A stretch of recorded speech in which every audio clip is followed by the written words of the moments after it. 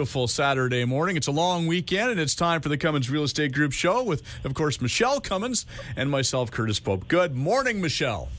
Good long weekend, Saturday morning to you, Curtis. How are you? I'm good. Now, I, now I have to ask, being that's a long week, and I know you had a busy week. Are are, are we indulging in a Christmas coffee this morning? No, not yet. Just uh, have maybe to too ask. early for that. Just had to check, make sure.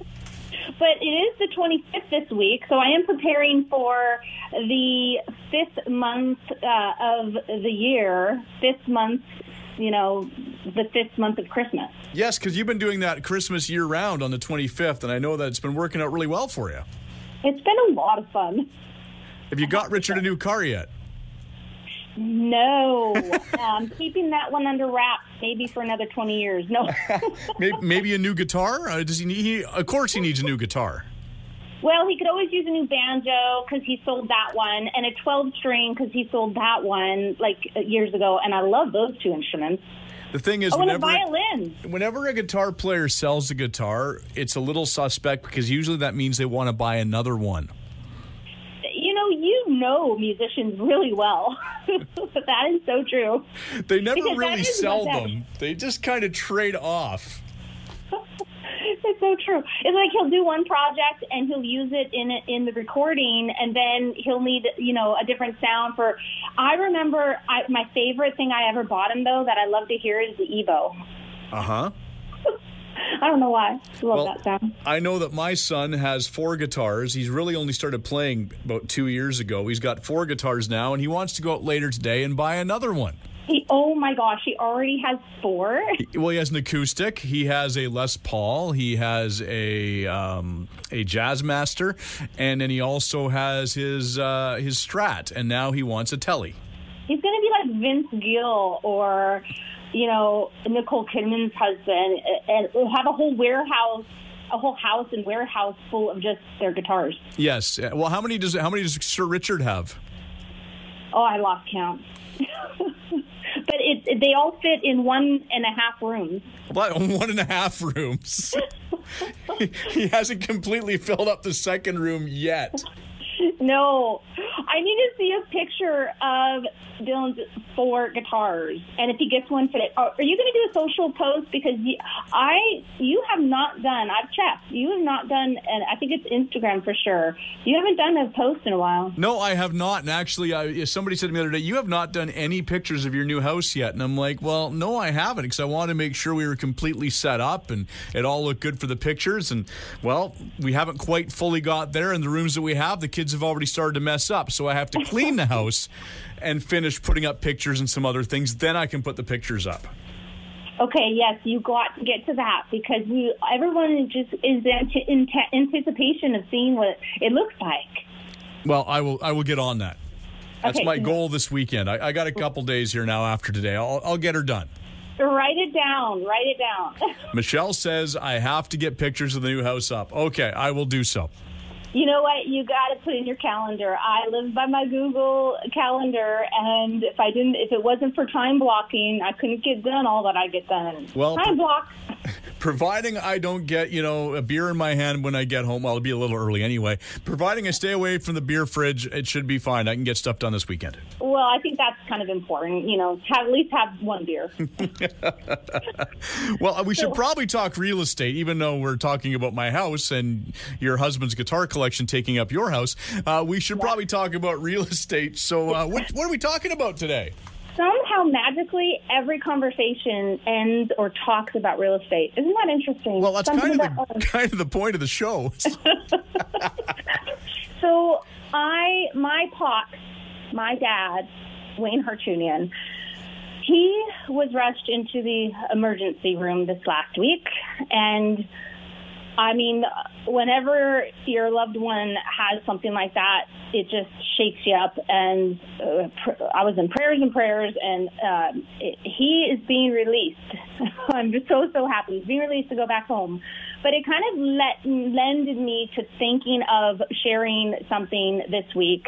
Uh, and for next week, actually, we're going to have a guest finally. We haven't had a guest in a while, uh, and only one in over a year. So we're going to talk about our first segment, seven home selling tips for seniors. And I just, yeah, and next week, our guest, we're going to have an occupational therapist in because my dad gets to go home. He doesn't have to go into a care home. He doesn't want to. Most, you know, um, people love being home, and thank goodness my one of my sisters lives with him is his caretaker. But they're going to be sending an occupational therapist a couple times a week uh, to the home, and so this information that we're going to share uh, today, but mostly next week with our guests, uh, they it is going to hopefully help a lot of people. So a representative from Greystone Bath and Home Services is going to be on our call next week uh, with the occupational therapist to talk about the new BC housing program. It's called Rebate for Accessible Home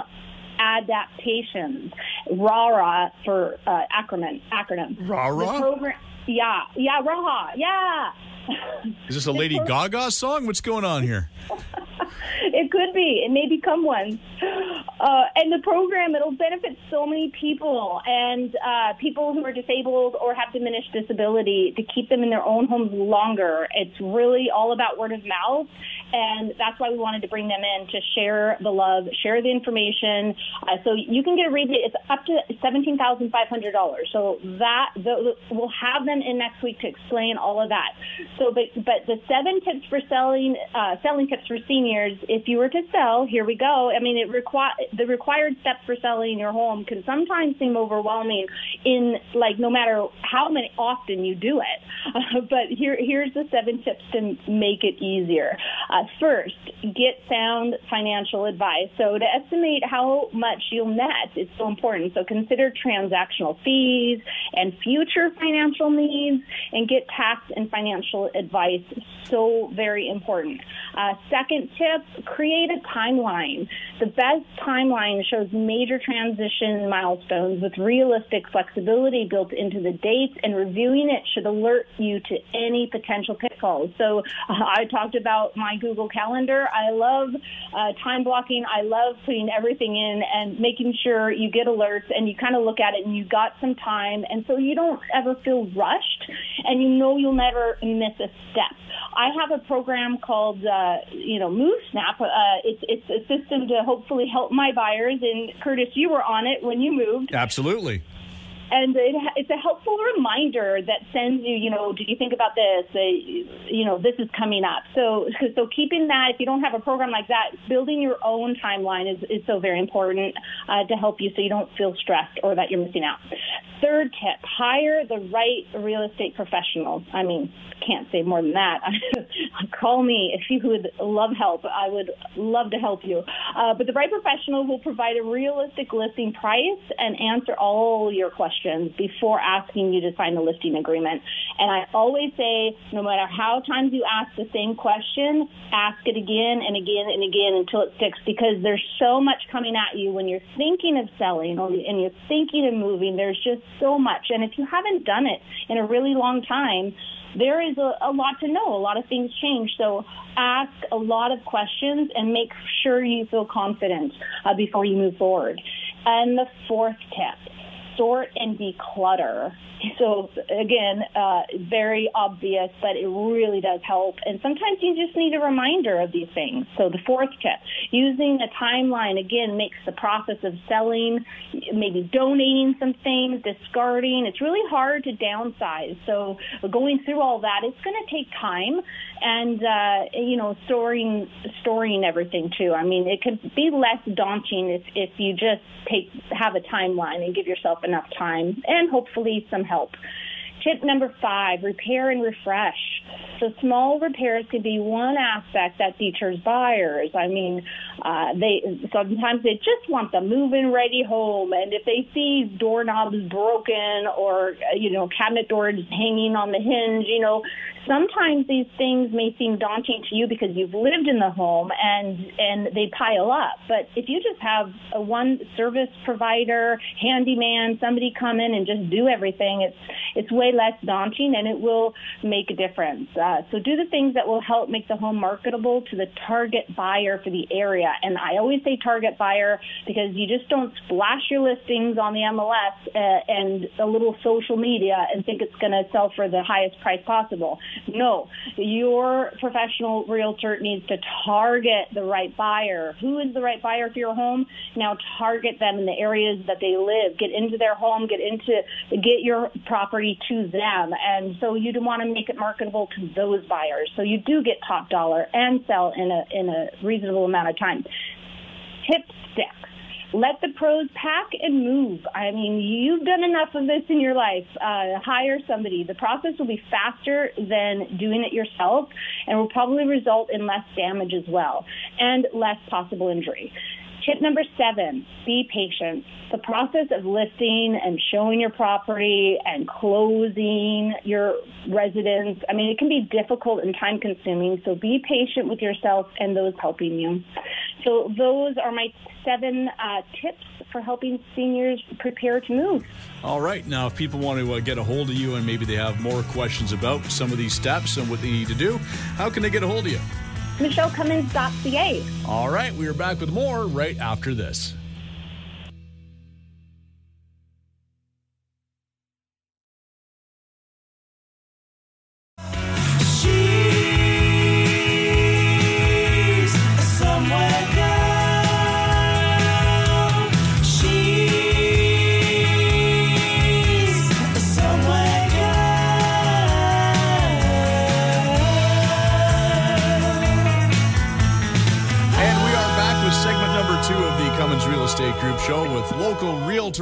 Star Michele Cummins and myself, Curtis Pope. Now, this time around, we're talking that, that something that, that always scares people, and it's credit score. Yes. Oh, that that that word credit score. Um, yeah, and sometimes what you don't know, it, it haunts you. So you got to know it. You want to know it. You should know it. Today, we are bringing to our listeners five reasons you need to know your credit score. Okay, so there's I know I know a few of them, but I want to see what you got here. Perfect. You might add to the five, hey? Uh, I wouldn't go that far, but sure, let's go with that. Oh, so credit scores, I mean, they're, they're used to judge pretty much everything. Uh, if you want to rent something, of course, they're going to do a credit score. Uh, I mean, uh, even getting a job. So reasonable, I mean, a reasonable person, it, it, it, likelihood of repaying a loan, I mean, everything has to do around that credit score. And the interesting thing is those who keep the credit scores, they're all third party, you know, it, it, but you, we all have a credit score and it's out there. So you got to know it. And we have the right to know it without having to pay uh, it dinging your credit score. You are allowed to check your credit and it is a very good thing to do. They actually have uh, something where you can get a monthly uh, enrollment, and they'll keep you alerted if anybody uses or checks your credit score or anything. So it's a good idea, maybe if you're trying to build your credit score, to do that for a few months, watch your credit score, watch it build up, and stay accountable to build it up if you need to, uh, because really we need it for so many things in life. So if the score falls below 760, it's time to start improving it. So these are five reasons to monitor the credit score. Number one, saving money on insurance. Uh, the credit score can impact how much you pay for your home and auto insurance. You, some people may not even know that, but they it, it's true. Uh, your credit score will help you get uh, better uh, rates in more ways than one. Uh, number two, helps to get a job. So employers will probably look at the full credit report, which is used to calculate the score. So sometimes, you know, you, we can do credit criminal checks. Well, credit scores are important as well. And yes, sometimes employers, especially big corporations, they will look up your full credit report. Uh, number three, qualifying for better credit cards. I mean, you know, we don't want bad debt, but guess what? Having a credit card, using it and paying it off every month actually builds your credit score. It's actually a good thing and you want to do that. A lot of people think I'm just going to pay cash for everything. I'm not going to have any loans whatsoever. But then if they do need a loan one day, when they do go for that mortgage, when they do need that line of credit, guess what? They're going to check your credit score and you don't have a credit score if you haven't ever used credit. So make sure you use it, use it properly though, pay it off every month. And I mean, there's so many places where you actually need a, cre- a credit card to actually even pay for something. So, uh, but just pay it off every month. Number four, helps to find a home. Of course, but credit scores greatly impact the ability to secure any kind of loan, including the biggest loan we usually ever get as human beings, which is our mortgages, which is also usually the biggest equity builder and the biggest investment we ever make. So credit scores, again, so important. Number five, protection from identity theft. That's why you want to keep an eye on your credit score as well. Not only the accountability to build it, but also to protect it from identity theft. So have you ever lost a wallet? Curtis, have you ever lost your wallet? Yes, many, many years ago before I uh, had anything with I was like 17, 18 and I lost it. So I didn't have any credit cards or anything, but I still lost my license and my bank card. And I think I had like 10 bucks in it. And when you're 17, that's pretty much the most money you ever have in your wallet. So I was, I was pretty upset about it, but somebody found it and did the right thing and, and tracked it down and dropped it off at my house for me. But still, it was, uh, it was about 24 hours of going, I lost my license license. I lost my bank card. What am I going to do? It is, oh my gosh, it's overwhelming thinking of everything you have to do if you lost your wallet. Uh, Rich, Richard's lost his wallet a couple times, I have to say. Uh, once it was retrieved, like yours, thank goodness. But the other time, no, it was taken and it was used. And yes, he had some identity identity theft happening. So that was not not fun. Who steals a musician's identity? That isn't going to help you. right? That's going to work against you. you might get arrested. oh my goodness. Somebody but could no. be getting in trouble for something that Richard did 30 years ago now. Right. Oh, Oh, but yeah, we, that that's one thing we did was was we were checking his credit score to see and watch it, and we actually put uh, he was on alert. So anytime that, and you can actually uh, be on alert where anytime somebody tries to use your credit card or anything, they call you first. Uh, so sometimes that can help, but yeah. Uh, so identity theft. I mean, even if a score, and you'll never believe, you know, the average score uh, will, will, will, it's actually the FICO scores range from 350 to 850, uh, and under 850 is considered poor credit, and 740 or higher is considered very good. I'll break it down in a little bit, but I, you'll never believe, I have a, like, it is rare when you find somebody with 900 and above. I mean, I mean, this is so rare. I have a client who has, I think it was 930 or 900, and they were just telling me last week they have such good credit.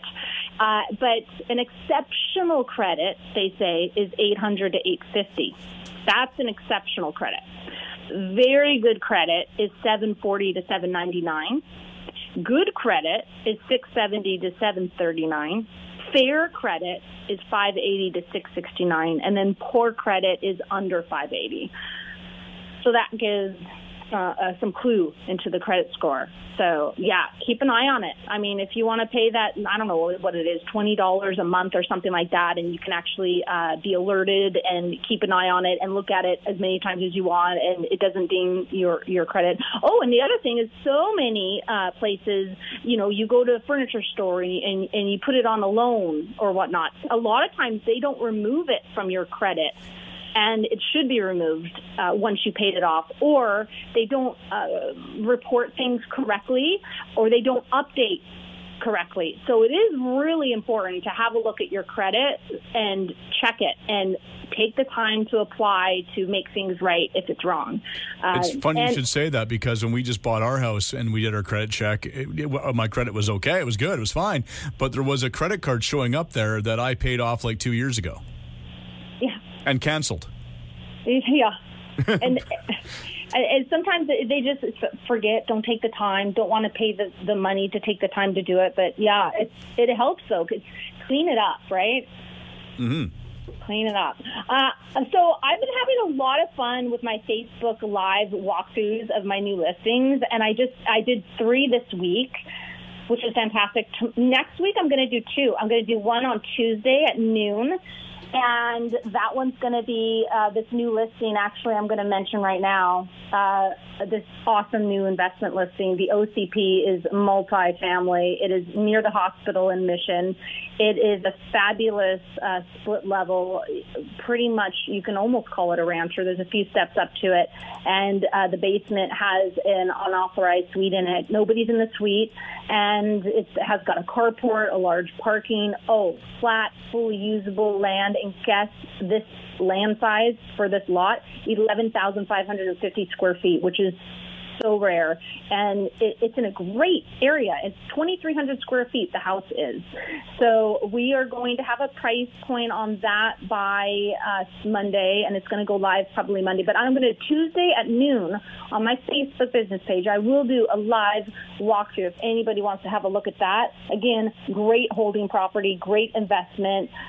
Oh, great with family, move into the suite or whatnot. Uh, and then on Thursday, I'm going to do a live walkthrough of this awesome, totally, totally modern, like so neat. I, Gold Edge Properties is the builder of this home. They built it in 2015, and I actually walked through it before they had it live, before they sold it when it was new, and I walked through a few of their other homes.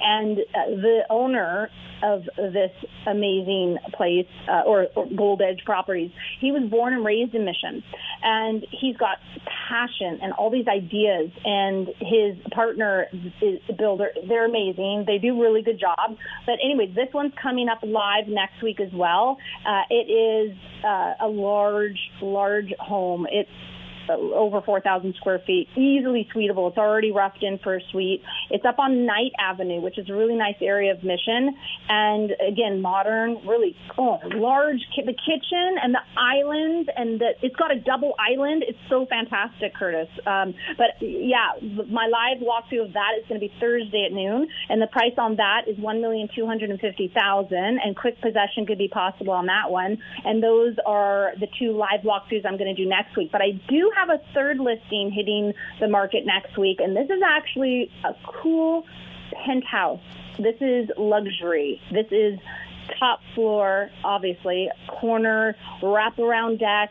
It's in North Burnaby off Gilmore Avenue, and I'm excited to bring the the everyone this listing because it's. Uh, I'm getting the drone video.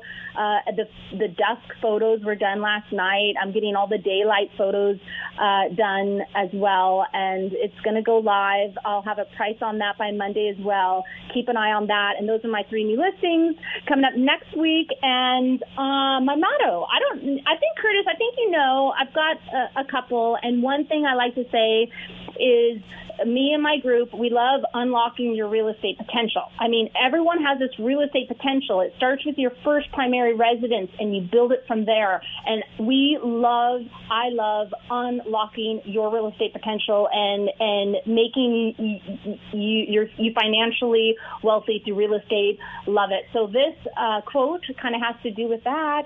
It is from Anthony J. D'Angelo and the quote of the week is smile. It is the key that fits the lock of everybody's heart. Aha, I like that one. That's a good one. So another unlock. Mm-hmm. Smile. Nice. All right. People's heart. I like that. Well, if people want to unlock their real estate potential and they want more information from you, where can they go? MicheleCummins.ca. And make plans to join us again next week when once again we will talk real estate in order to unlock your real estate potential on a show where real estate is maximized. Thanks for listening.